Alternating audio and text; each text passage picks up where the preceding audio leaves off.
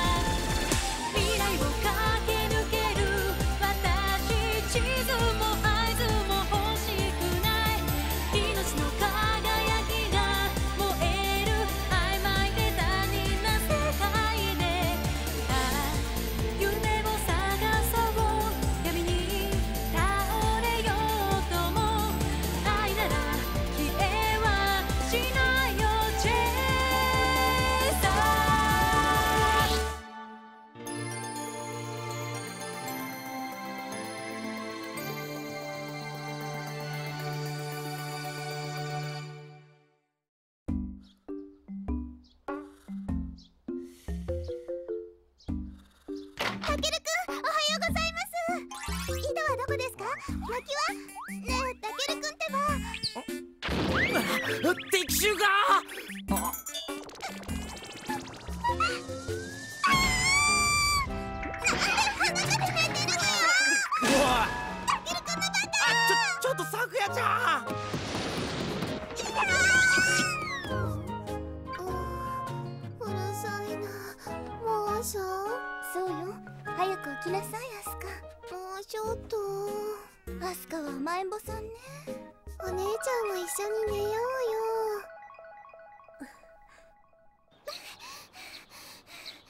よく眠れたかねお嬢さん。あ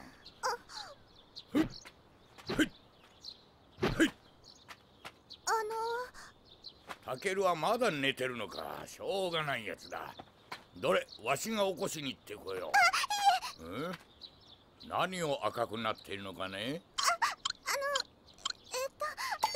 せん。私こちらの習慣がよくわからなくてうちのことは琴乃さんがよく知っておるから一緒に朝食の支度をするがよい。ちなみに井戸や薪はないぞ。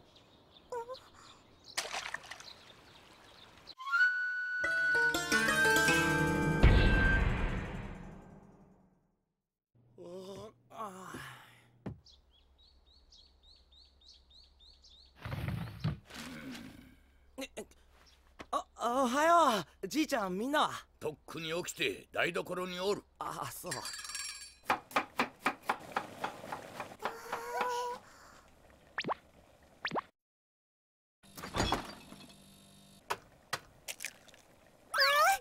ちゃんだし巻き作るのやりたいそんなにくっつかないのへえこれが芦原の国のかまどってわけねどうやって火を起こしてるの私にも手伝わせてあらさくやってみたい？はいどうぞ。そんなに顔近づけると目が痛くなるこれでいいの？おはようさくやちゃん。さっきはごめんな。おはよあさくやちゃん。う大丈夫見せて。平気平気。こんなの舐めとけば治るから。ダメだよそんなの。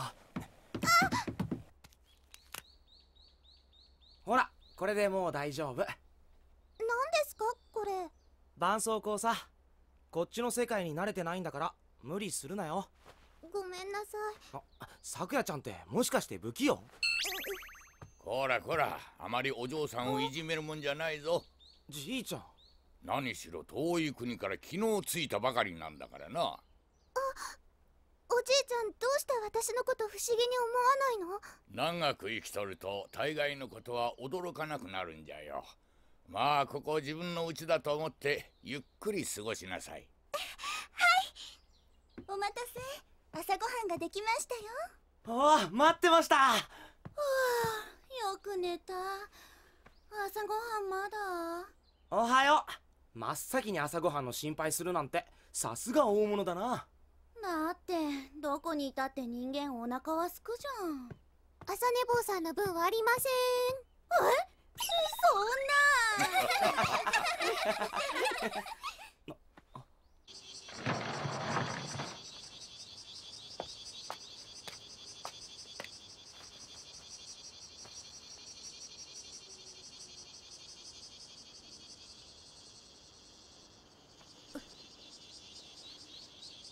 北川。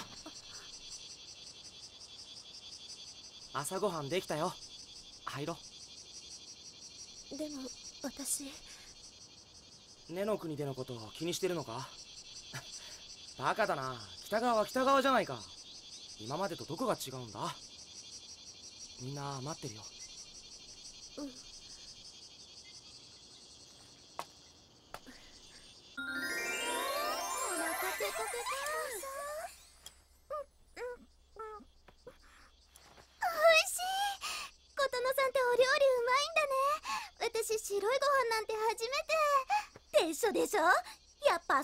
のはこうでなくっちゃ。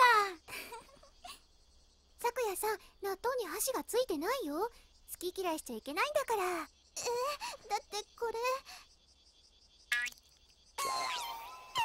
腐ってるよこれ。違うよ。そういう食べ物なの。こ納豆は向こうにはなかったか。れ本当に食べなくちゃいけないの。ああ腹減ったうわうまそうな朝飯。ほら舞さんもどうぞ。はい。よしいただきます。あうーんうめえ。やっぱ朝飯は納豆に限るな。どうかな咲夜ちゃん。うちの朝飯は。もう信じられないくらい美味しい。お母さんとお父さんにも食べさせてあげたい今頃向こうでも美味しいおかゆ作って。隠れ家はかまど使えないんだった。煙が上がっちゃうから。あのみんな大丈夫かな？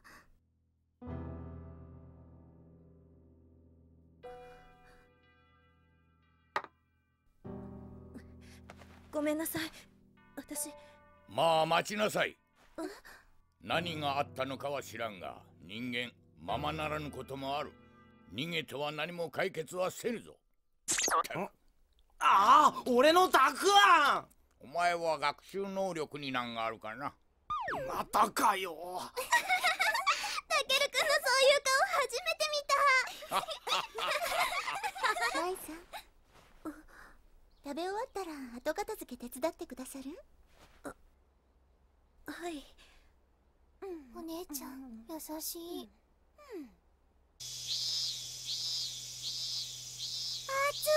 こっちは日差しがきついね。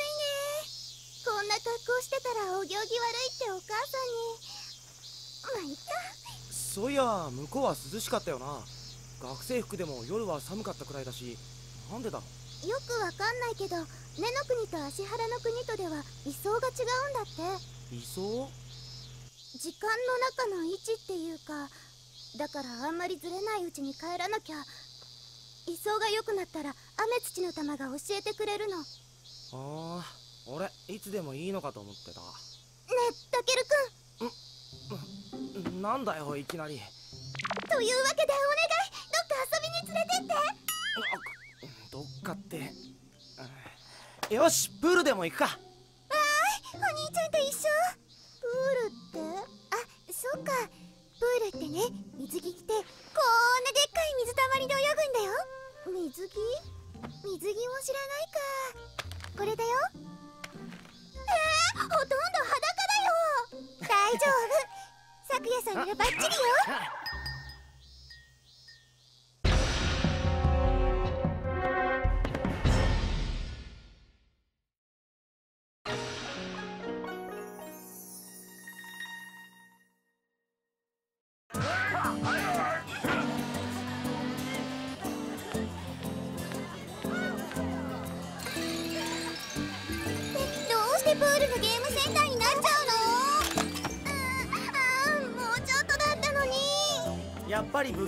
な見てな。ほら。ありがとうたけるくん。ねえねえたけるお兄ちゃんプールは？まあまあ後で行くって。あえいこのこのこの。メタメタにしてやる。あダメダメです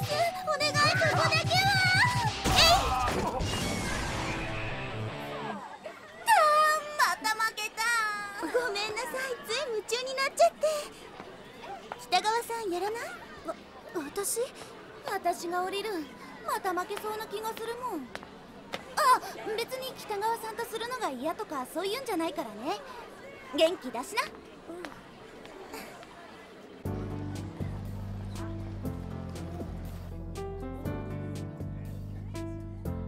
見て見てこのストラップかわいい。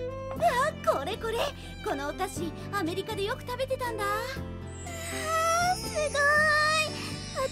んなにいろんなもの見たの初めて。なんかクラクラしちゃう。咲夜さんは何か買わないの？だって私。なんか欲しいものがあったら言ってくれよ。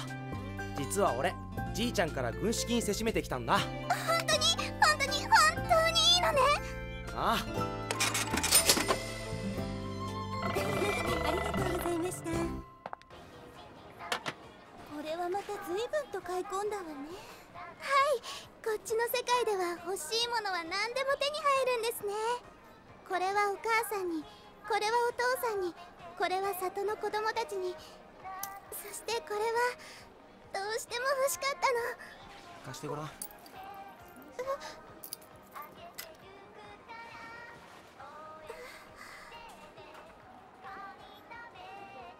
似合ってるよさくやちゃんくやさん早く飲まないとシェイク溶けちゃうよ。あうん。うん。うん甘い。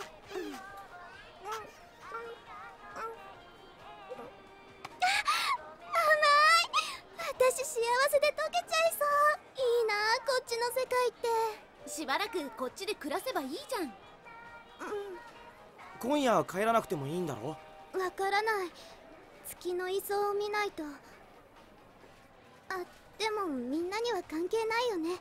私だけ戻ればいいんだから。何言ってんだよ。一緒に行くに決まってんだろ。な。当たり前じゃん。まだかぐっちさんたちに恩返しもしてないし咲夜さんだけ返すなんて私の正義感が許さないよ。それにたけしさんのこともありますし。うん。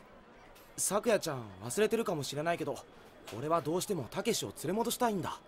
たけるくん。私も行きますどうして？また裏切るの？北川さんあいつらのスパイだったんだよね？私見たんだから。アスカちゃん。信じてもらえないのは分かっています。里の結界を壊したのもアスカさんをさらったのも私なんですから。でももうみんなを騙すのは嫌。信じらんない。私は信じます。大ナムジは強い力を持っています。舞さんが決心するまでどれだけ悩んだか私舞さんを助けてあげたいの。琴乃さん。これ使ってみたらどうかしら。これは？卑弥呼さんからもらった笛です。この笛には悪霊の心をそらす不思議な力があるみたいなの。これを使えばきっと大ナムジの呼びかけをそらすことができるわ。これを私に？舞さんならきっと使えると思うの。頑張って。ありがとう琴乃さん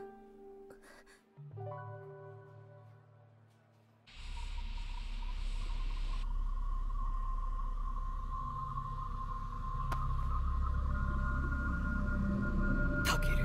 来いたけしお前も帰るんだ。タケルどうして俺たちは出会ってしまったんだろう。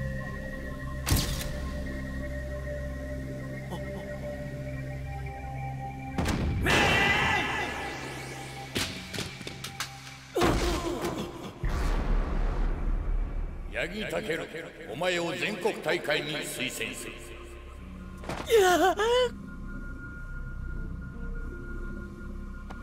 俺は知ってしまったんだ。タケルお前は光で俺は影だとね。いつも光の足元をついて回る。一人では何もできない弱い影。だから憐れんでくれたのか。俺はお前の影じゃない。ここでなら俺は自由に呼吸ができる。根の国は俺が選び取った国だ。ん？何？卑弥呼が？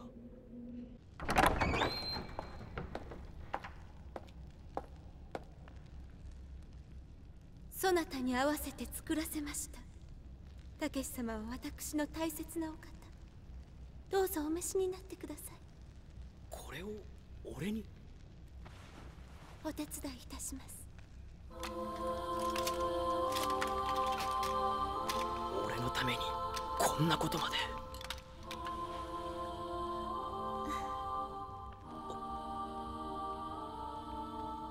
卑弥呼。たけし様。俺は今まで何を見ていたんだろう。ただ自分の心の闇ばかり見ていた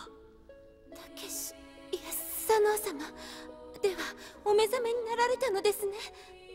いや違う。俺は根の国で生まれ変わったんだ。俺の居場所はここだと。約束しよう。これからはあなたのために戦う。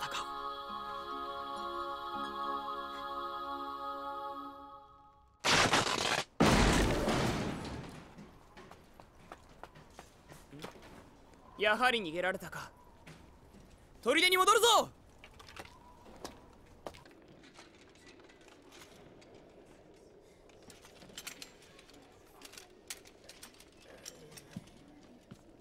カラス森のものだが。我が部隊も共に戦おう。よし霧の谷へ行ってくれ。今方々に伝令を飛ばしている。反撃の日は近いぞ。はっ。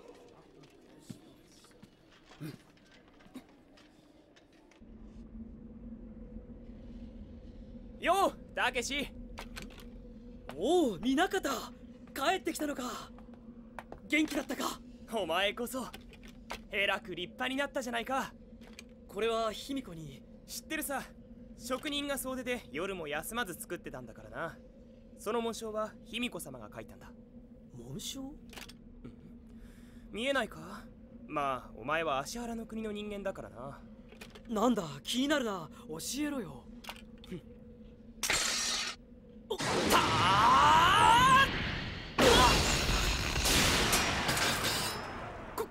これは？守りの紋章さ卑弥呼様の力が込められているんだ。卑弥呼の？おいたけし！よく残ってくれたな。タケルとかいうやつは芦原の国に帰ったそうじゃないか。お前はいいのか？俺はこっちの世界が性に合ってるんだ。それに。それになんだ？いいやなんでもない。ふん。うわ言わないと閉めちまうぞほらほら早く言え。よーし。おいってやりやがったな。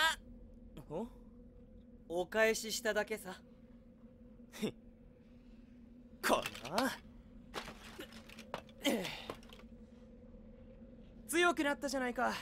鎧のおかげかな。さあな。もう一度試してみるか よーし。日が落ちる前にもう一勝負だ。おう。ああプールって学校のプールだったとはね。ここなら咲夜ちゃんも人目を気にせず泳げるだろそれにタダだし。せっかく可愛い水着持ってきたのに損しちゃった。ほんまちじゃーん。えっとこれでよかったのかしらうわ咲夜ちゃんイケてる。そう？もうちょっとこっち来て。よく見せて。えでもここうですか？そうそうそのまま回って。ひ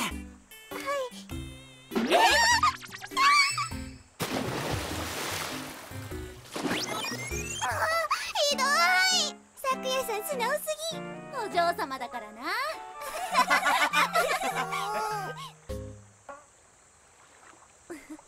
楽しそうね。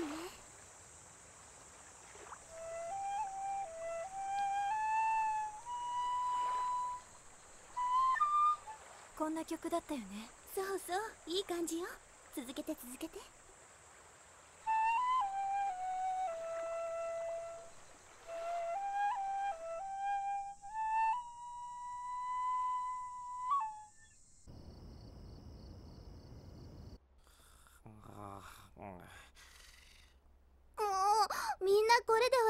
見張ってるつもりなの？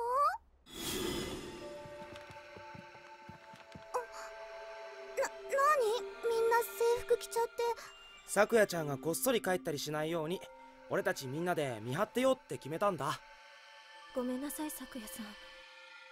許してもらえないかもしれないけど私も根の国に戻って償いがしたいんです。よかったら私も手伝うわ。たけしさんのことが気になるのさくやさん一人で行ったら許さないから。目いっぱい食べて遊んでお風呂にも入ったし私は準備 OK よ。みんな。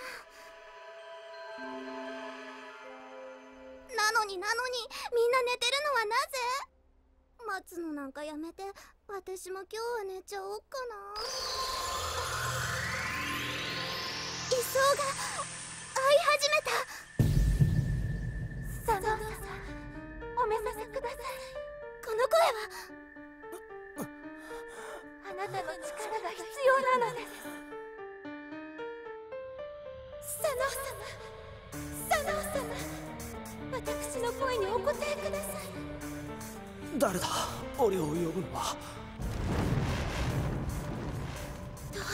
覚めてくださらないのです。あなたの魂が見えません。スサノオ様。いや違う。これはあの時の若者。お前は卑弥呼。スサノオ様。感じます。スサノオ様の波動をなんという力。来るな。そなただったのですね。そなたもまたスサノオ様の魂を持っているのですね。来るな。来るな。タケルくんタケルくんよかった。今タケルくん卑弥呼に呼び寄せられるところだったのよ。卑弥呼に一刻の猶予もないわ。ここでは死生獣の守りもないし私も結界が使えない。タケルくん根の国へ行きましょう。分かった。行こう。さくやちゃん。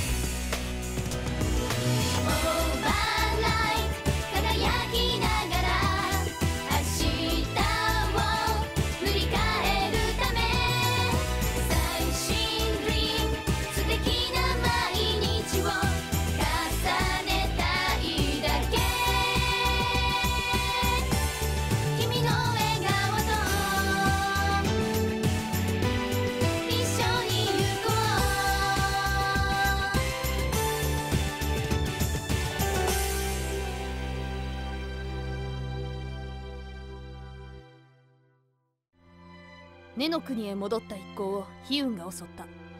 卑弥呼の術からタケルをかばうことの。その魂が冥府へと弾き飛ばされてしまう。現れた凛は卑弥呼への忠誠を誓い激しい戦いを挑んでくる。凛お相手は私たちよ。次回出雲武木剣の戦記。第9話守るべきもの。